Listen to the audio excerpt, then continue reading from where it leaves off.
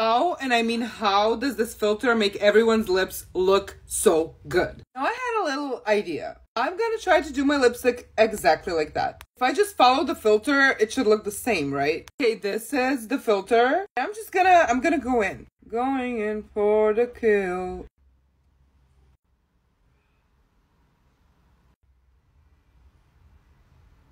I feel like this would be the right time for me to try the Fenty Beauty lip lip paint. Rihanna, you better come through. It is very juicy. And that's what he said. I'm sorry for my horrible humor. Mm. Okay, are we ready? Are we ready for the big reveal?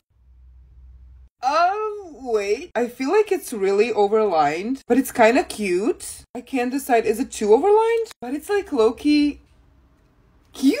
I'm not sure where I stand with this one. Do we like it? Do we hate it? I don't know.